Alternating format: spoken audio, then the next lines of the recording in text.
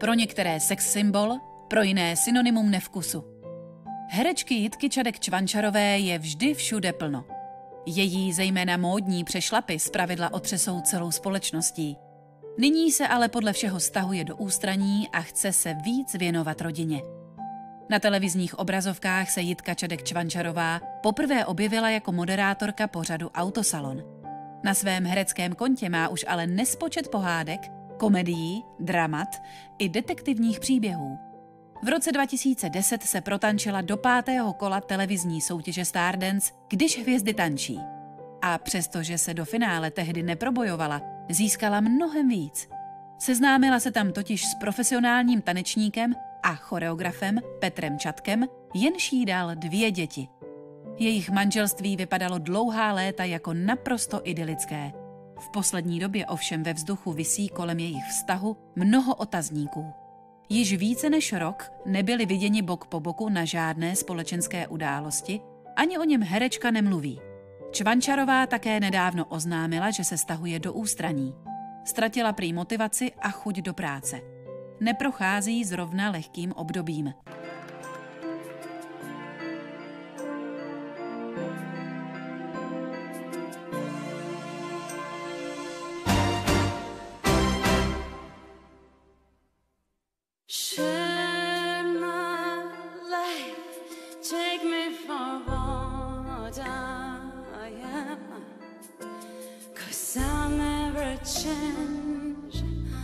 My colors for you. Change my life, I'll never ask for too much. Just all that you are and everything that you do. I don't really need to look very much farther. Have to go further and follow. I don't get the game, this passion inside, and run from myself. There's nowhere to hide.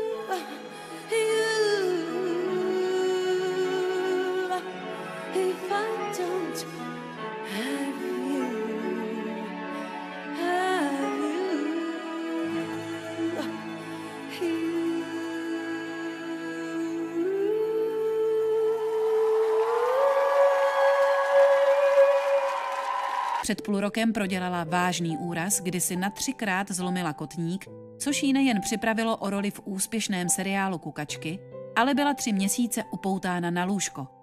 Nestatického člověka zestatičnit. Myslím, že hlava na tom byla někdy hůř než tělo. Nechala se slyšet v show Jana Krause. Kvůli zlomenině trávila více času doma, byla nucena zpomalit v pracovním tempu a měla možnost přemýšlet o budoucnosti. Svůj aktuální stav přirovnává k syndromu vařené žáby, kdy člověk není schopen reagovat a uvědomovat si hrozby, ať už dlouhodobé nebo ty, které přicházejí náhle. Herečka se přirovnáním s žábou odkazuje na metaforu, která vychází z báje o žábě, která je pomalu ohřívanou vodou uvařena zaživa. Skandálu Jitka moc nemá. Jak se provalilo v televizní show Tvoje tvář má známý hlas, intimní a láskyplný vztah udržovala například se slovenským hercem Jánem Jackuliakem. Mezi milenci to bylo vážné a plánovali společnou budoucnost. Byla to idylka, bydleli spolu a všichni měli za to, že se určitě vezmou. Prozradil médiím Jackuliakův známý s tím, že po studiích na jamu udělali všemu přítrž rozdílné představy o herecké budoucnosti. Čvančarová začala hrát v Praze, kam ale Ján nechtěl kvůli svému angažmá v Městském divadle v Brně. Tím se jejich cesty rozdělily. Románek Jitka prožila také s hercem Jiřím Hánou, s kterým se marně skrývali před veřejností i médií. Hlavním důvodem bylo především to, že Hána byl v té době zadaný a měl přítelkyni. Herečka byla nějaký čas spojována také s velice movitým podnikatelem a producentem Peterem Kovarčíkem. Média ale měla největší pré před 14 lety, když Bulvár dokázal, že hereččin tehdejší partner, herec Martin Hoffman, využívá eskortních služeb. Zatímco ona od rána do večera natáčela seriál Dokonalý svět, Hoffman dováděl s prostitutkami. Jeden z Martinových kamarádů se následně nechal slyšet, že herec ztratil veškeré zábrany, nedával si pozor a placeného sexu si užíval kdykoliv se mu zlíbilo. Naprosto zdrcená Čvančarová se tehdy stáhla z veřejného života, její zlomené srdce potřebovalo klid. Martine, co je s tím farářem? No, on No, co on? Narazil si kyčel. Kdy jsi mi to jako chtěla říct? Až přijdu před kostel a zjistím, že tam není nikdo, kdo by nás oddal? Neboj se, mám to pod kontrolou. Martine, jsi teď ke mně naprosto upřímný? Co ti myslíš? Tak znáš to, jak někdy podvědomě lidé sabotují některé věci. Ten farář byl opilý, Lído. Nebyla to moje chyba. Musíš mi věřit. Všechno bude dobrý. Slibuju. Určitě. Ještě ti zavolám.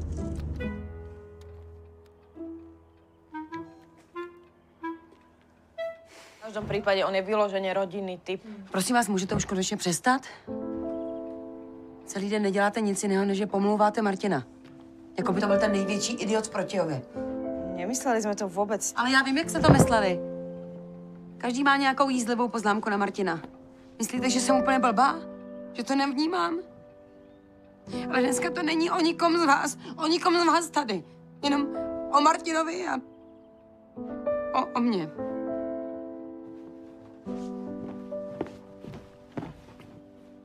Musím na vzduch. Jdu s tebou. Ne. A jo, co tady děláš? Jsem říkala, že chci být sama. Počkej, Já vím, ale co bych to byla za kamarádku, kdybych tě poslechla? dobrá kamarádka bys byla. Dobrý. Jo, dobrý.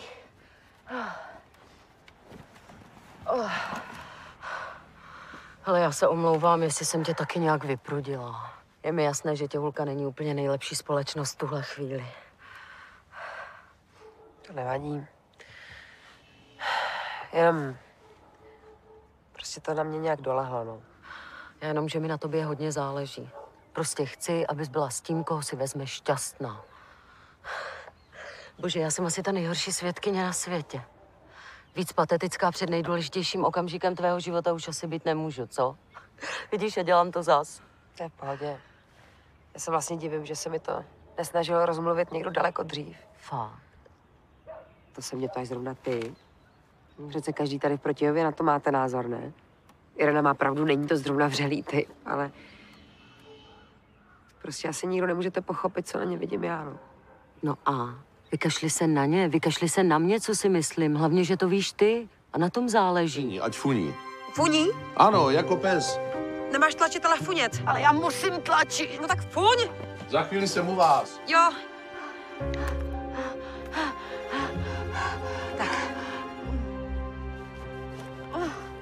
Jaký? Je v pořádku. Nejsem v pořádku. Tak. Martine, Jo, tak jo. Ale já ještě nemůžu mít dítě, nemám tady ani manžela. A co vaše svatba? Ale... Martine, víš přesně, co děláš, že jo? No, teoreticky. Teoreticky? Pravé štěstí našla až v náruči tanečníka Čatka, ovšem čas ukáže na jak dlouho. Čvančarová stále nenašla svůj módní styl. Své nezapomenutelné kreace pravidelně předvádí především na Karlovarském filmovém festivalu. Začalo to v červenci roku 2015, kdy panovaly doslova tropické teploty. Čvančarová svou róbu však nehodlala měnit a tak do lázeňského města dorazila v bílých šatech doplněných kožešinou a namašli uvázanou štolou. Módní policie šílela. A to ještě netušila, co si na ní herečka připraví v následujících letech.